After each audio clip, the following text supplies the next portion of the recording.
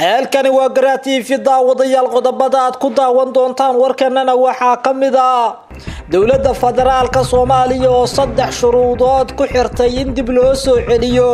xiriirkii ay la laheyd dowladda imaaraadka carabta. Dowladda wadanka kenyana waxay guddi deg dega u saartay diyaaradda u adeegi jirtay ciidamada milatariga ee kenya ee ku sugan gudaha soomaaliya oo la soo riday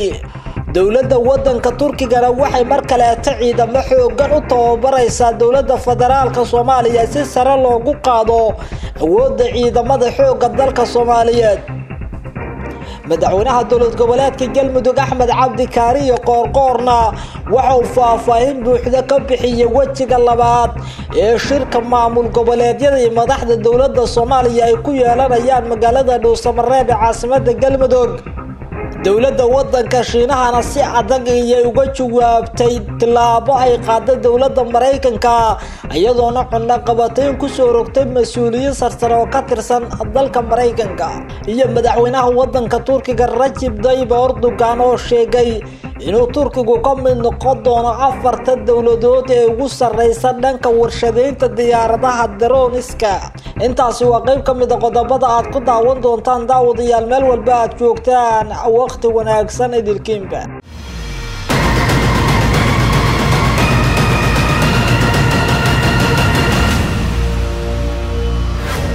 kulanti oo wanaagsan daawadayaal halkani waa garaa t v fadlan daawada haddaad joogta xilligii salaada soo tuka waajibkaale dibna u bilow inaad daawatid muuqaalkan kadib markaad soo gudatid waajibka ku saaran aynu ka horeyna dowladda federaalka soomaaliya ayaa saddex shuruudood ku xirtay in dib loo soo celiyay xiriirkii ka dhexeeyay soomaaliya iyo imaaraadka carabta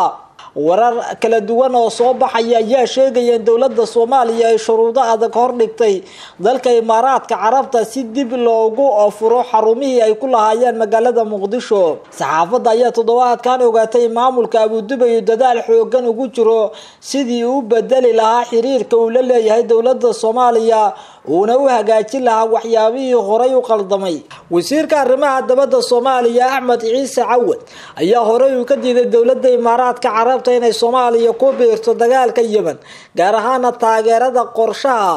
ay dowladda imaaraadku kula wareegayso jasiiradda istaraatiijiga ee sokosra.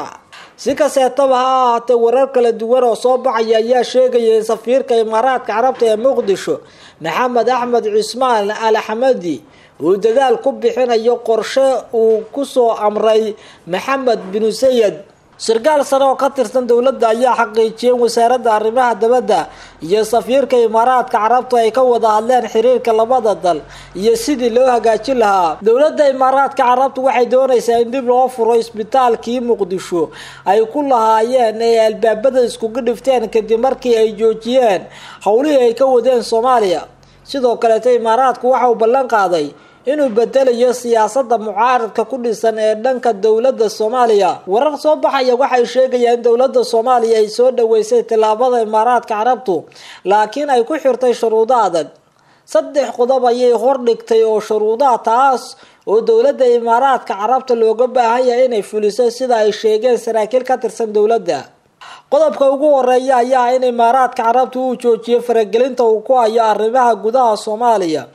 qodobkaas ayaa ka mid ah qodobada sida weyn uga walaacsan tahay dowladda. Islamarkaasna imaaraadka carabtu dhowr jeer lagu eedeeyey inuu taageero khilaafaadka dowladda iyo maamul goboleedyada iyo siyaasiyiinta oo la iska horkeeni jiray iyo in dowladda loo sameeyo mucaarado badan labo arrinta d b wall ee dowladda soomaaliya ay sharci darada ku tilmaamtay joogitaankeeda ee dalka iyo heshiiska dekadaha berbere boosaaso oo wasaaradda arrimaha dabadda ay imaaraadka ku wargelisay in heshiiskaasi ay yihiin kuwo u dhimaya wax midnimada iyo sharafta soomaaliya maadaama aysan dowladdu ka warqabin. Arrintaasna waxay dalbatay dowladdu in si deg dega ay imaaraadka u joojiyaan saddex in dowladdu ay maamusho mashruucda imaaraadka ayaa la aaminsan yahay inuu soo gabangabeynayo gargaar uu keenayo soomaaliya. Waxaana wararka aynu helayna ay sheegayaan in dowladdu ay doonayso inay iyadu maamusho howlaha gudaha dalka oo aysan marnaba imaaraadku fasixi karin islamarkaasna aysan socodsiin karin wax ka dhacaya gudaha dalka soomaaliya lama oga in imaaraadka carabtu u aqbalay go'aanka dowladda soomaaliya oo ah kuwo aad adag islamarkaasna la doonayo haddii xiriirkii imaaraadka iyo dowladda soomaaliya la soo celinayo in qodobadaasi la fuliyo. Iyadoo qodobadaas intooda badan dowladdu ay ku tilmaamtay inay tahay lagama maarmaan wargeyska almonitary ayaa waxa uu daabacay in abudubay ay ka careysan tahay sida turkigu u degay qalbiga ummadda soomaaliyeed taasina ay tahay midda keentay isbeddelka cusub ee imaaraadku ay doonayaan. Falanqeeyaasha arrimaha siyaasaddu waxa ay sheegayaan in imaaraadku uu xiriirka soomaaliya ujeedada ugu weyn ee uu ka leeyahay tahay jasiiradaasi qodra oo iyadu muhiimad weyn u leh imaaraadka carabta dowladda imaaraadku waxay doonaysaa in xiriir fiican ay la yeelato maamulka imaan doona dowladda soomaaliya doorashada dhici doonta. Waxayna doonaysaa ka inay dowladda la sinjaan qaado si aysan hadhow dib ugu soo biirin xukuumadda dhalan doonta. Imaaraadku waxa uu doonayaa inuu ka sii adeegto qaybo badan oo soomaaliya sida dekadaheeda iyo sidoo kaleta inuu ka faa-iideysto kheyraad badan oo soomaaliya dhex eegaaga kaas oo aan helin cid ka faa-iideysan isku soo wada duwa dowladda federaalka soomaaliya iyo imaaraadka carabta ayaa xiriirkoodii xumaaday. Kadib markii imaaraadka lagu eedeeyay inuu ka shaqeynayo faral hoos u dhigi kara madax banaanida iyo dowladnimada soomaaliya waxaanu xiriirkii ugu weynaa u burburay. Kadib markii garoonka muqdisho lagu qabtay kubanaan dollar oo ay dowladda imaaraadka carabtu soomaaliya u soo dirtay. Arrintaas oo ay dowladda soomaaliya sheegtay in la doonayay in lagu maalgeliyo kooxo ka soo horjeeda dowladda dhexe. Dowladda kenya ayaa guddi cusub oo deg dega u saartay diyaarad u adeegi jirtay milatarigeeda ka jooga soomaaliya oo la soo riday. Sida ay daabacday warbaahinta gudaha dalka kenya xukuumadda nairobi waxay guddi u xil saartay baaritaan deg dega ku soo sameeya. Diyaarad milatari gaar ahaana nuuca qumaatiga u kacay u adeegi jirtay milatariga ka jooga soomaaliya oo la soo riday. Diyaaradan waxay soo dhacday isniintii waxaana ku geeriyooday laba ruux oo ahaa duuliyihii iyo caawiyihiisii oo xilligaasi ku guda jiray. Mid ka mid a safarada qorshaysnaa ee ay sameyneysay diyaaraddu. Nuuca diyaaradda waxaa lagu sheegay hookiis shan boqol m waxayna si gaara ugu diiwaan gashaneed waaxda difaaca kenya oo xamuul ahaan agabka ciidamada u qaadi jirtay halka mararka qaarna lagu qaadi jiray oo lagu daadguray jiray askarta. Kenya ma aysan sheegin sababta keentay in diyaaradani ay soo dhacdo deetana ay burburto balse warbaahinta maxalliga ayaa warisay in ay diyaaradani ay soo dhacday xilli dowladda kenya ay waday qorshayaal ay ku dardargelinaysa dagaalka ka dhanka al-shabaab ee soomaaliya. Sarkaal sare oo ka tirsan ciidamada dalka kenya ayaa sheegay inay arkeen diyaaradda oo soo dhacday islamarkaasna ay ku geeriyoodeen duuliyaashii saarnaa balse xoogtani intaasi ka badan ma uusan bixin. Khuburo ka socota dowladda kenya ayaa gaaray gudaha dalka kenya meelaha oo diyaaraddu ku dhacday xilli ay safar ku jirtay waxayna bilaabeen baaritaan rasmi ah oo ay uga daba tegayaan xaqiiqada sababta keentay inay diyaaraddu soo dhacdo taas oo ka ah diyaaradaha sida weyn looga yaqaano gudaha soomaaliya ciidamada militariga ee dalka kenya ee jooga soomaaliyana gacan sii jirtay diyaaradan ayaa si joogta u imaan jirta soomaaliya waxayna agab iyo kala duwan u keeni jirtay ciidamada dalka kenya ee ku sugan gudaha dalka soomaaliya. Dowladda kenya waxay saartay guddig deg deg a oo arrintaasi baaritaan ku soo sameeya soona gudbiya warbixin rasmiya lama oga dowladda kenya ciday dusha u saari doonto soo riditaanka diyaaradda militari ee u adeegi jirtay ciidamadeeda ka jooga gudaha soomaaliya ee qeybta ka ah howlgalka amisom. Dowladda turkiga ayaa ciidamo hor lagu tababaraysa dowladda soomaaliya oo ay saaxiibo dhow yihiin. Waxaa bilaabanaysa tababarka dufcadda cusub ee ka mid noqonaya ciidamada xooga dalka soomaaliyeed ee loo yaqaano s n a tababarkaasi waxa ka dhacayaa saldhigga turkiga uu ku leeyahay dalka soomaaliya gaar ahaana magaalada muqdisho. Waxaa la soo dejiyay ogeysiiskii ee lagu ciidamadaasi lagu qorayay iyadoo durbe ay socdaan xulashada dadka ka mid noqonaya ciidamada halka lagu diyaarinayo kuwaas oo waxyaabo badan la doonayo inay ku soo kordhiyaan dowladnimada soomaaliya. Ciidanka lagu diyaarinayo muqdisho waxaa loo diyaarinayaa oo loo qaadanayaa ururka lixaad ee ciidamada lugta soomaaliya. Waxaana la sii doonaa tacliin ku aadan qaabka dagaal iyo tababaro sidii ay howlgallada u fuli lahaayeen loogana dhigi lahaa ciidamo si gaara u tababaran. Waxaa si dardara ku socota xulitaanka ciidamada lagu tababarayo xarunta tababarka ee turkisom islamarkaasna isqorista ayaa ku eg soddonka bisha luuliyo ee sanadkan laba kun iyo labaatanka. Sida ay sheegayaan warbixin soo baxday. Dowladda wadanka turkiga waxay doonaysaa in ciidamo badan ay u tababarto dowladda soomaaliya si looga maarmo awoodaha hesheeye ee ku sugan gudaha soomaaliya. Inkasteetoo waddamada ciidamadu ay ka joogaan soomaaliya aysan jeclaysan tallaabooyinka ay wado turkigu haddana waxaa marba marka ka dambeysa sii xoogeysanaya tallaabooyinka la doonaya in lagu dhiso ciidamada qaranka dowladda turkiga ayaa horey soomaaliya ugu tababartay ciidamo fara badan oo ay ka mid yihiin ciidamada gorgor iyo haramcad kuwaasoo xukuumadda soomaaliya iminka ay ku faanayso ayna sheegayso inay yihiin ciidamo wax ku oola. Tillaabooyinka turkigu uu ciidamada ku tababarayo ayaa sii kordhaya. Waxaana muuqata in iskaashiga soomaaliya iyo turkigu uu marba marka ka dambeysa uu sii hagaagay. Madaxweynaha dowlad goboleedka galmudug ayaa faahfaahin ka baxshay wejiga labaad ee shirka dhuusamareeb madaxweynaha dowlad goboleedka galmudug oo khudbad ka jeediyay xaflad gunaanadka shirka wejiga koowaad ee dhuusamareeb wan ayaa faahfaahiyey shirka wejigiisa labaad oo ay ka qeybgalayaan madaxda dowladda soomaaliya waxa uu sheegay in shirka maamul goboleedyada uu ku soo dhammaaday si wanaagsan islamarkaasna uu furmi doono maalmaha soo aadan shirka ay madaxda dowladda soomaaliya iyo kuwa dowlad goboleedyada yeelanayaan wejiga labaad ayuu sheegay inuu rajo weyn ka qabo in dowladda federaalka soomaaliya iyo dowlad goboleedyadu ay ka heshiiyaan waxyaabaha u dhexeeya si la yskula meel dhigo go'aan. Midnimada iyo wadajirka ummadda soomaaliyeed lagu sii taabagelinayo. Waxau intaasi ku sii daray dadka reer galmudug ay markaseete doonayaan inay ka shaqeeyaan nabadda iyo dib u heshiisiinta galmudug dhexdeeda iyo sidoo kaleeta guud ahaanba soomaaliya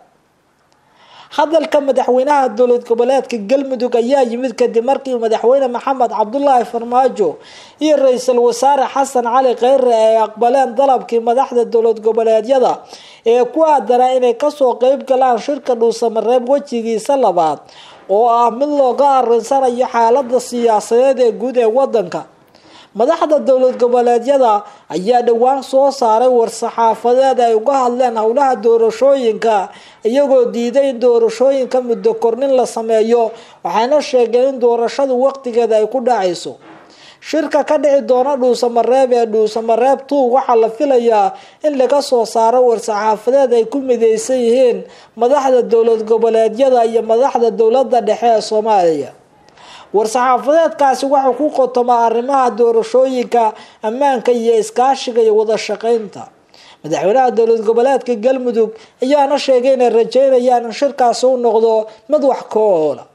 galmudug ayaa martigelinaysa wejiga koobaad iyo wejiga labaad ee shirka maamul goboleedyada iyo dowladda soomaaliya waxayna arintaani ay timid kadib martiqaadkii madaxweynaha galmudug uu u fidiyey madaxda maamul goboleedyada si kasteetaba ha ahaatee dadaalada soconaya ee la doonayo in lagu soo afmeero khilaafkii muddada taagnaa ayaa waxa uu ku soo aadayaa iyadoo doorashooyinka soomaaliya ay dhowaan lagu madlaysan yahay inay dhacaan. Islamarkaasna horey loo sheegay inay qof iyo cod noqonayaan balse arrintaasi iminka aysan muuqan iyadoo maamul goboleedyadu ay doonayaan doorasho dadban dowladda shiinaha ayaa si adag uga jawaabtay tillaabo ay qaaday maraykanku iyadoona cunaqabatayn ku soo rogtay. Mas'uuliyiin sarsare oo ka tirsan dowladda maraykanka. Shiinaha ayaa xayiraad ku soo rogay madax sarsare oo ka tirsan maraykanka iyo qaar ka mid ah hay'adaha laga leeyahay dalka maraykanka.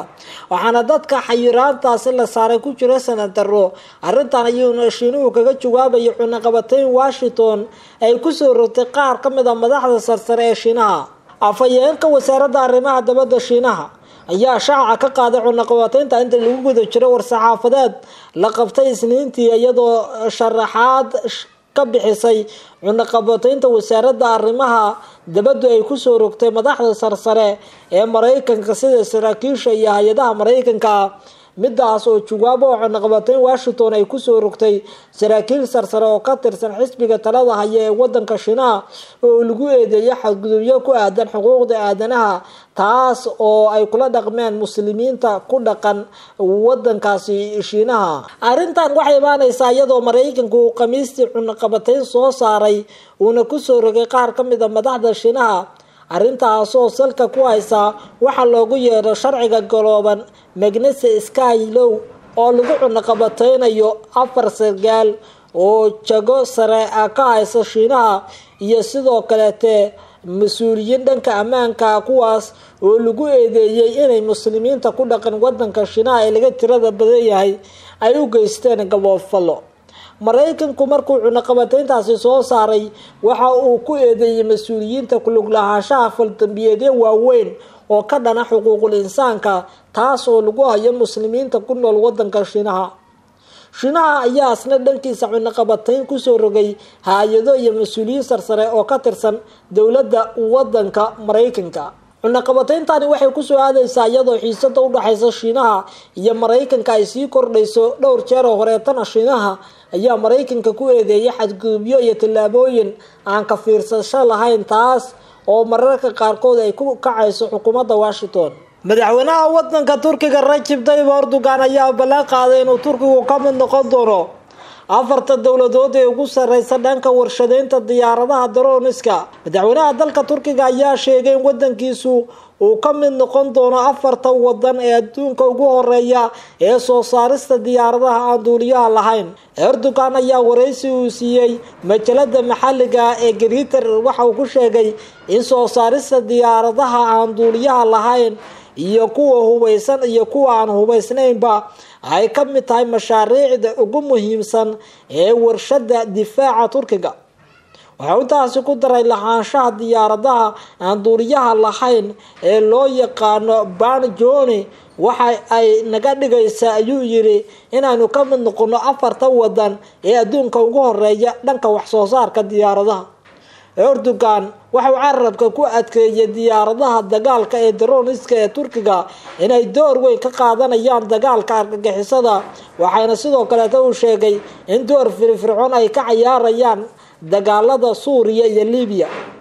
sidoo kaleta waxa uu tilmaamay inay jiraan baahyo waaweyn oo dabadda ah oo loo qabo diyaaradaha turkiga iyadoo ay jiraan dano caalami ah oo ay leeyihiin dowladaha caalamka warshadaha hubka sameeya ee turkigana ay isha ku hayaan. Erdogan waxa uu tilmaamay in korarka mashaariicda warshadaha difaaca turkiga kuwaas oo markii horeeta ah lixdan iyo laba balse haatan kor u kacay ilaa iyo toddoba boqol xilli. Sidoo kaleetana uu kor u kacay miisaaniyada difaaca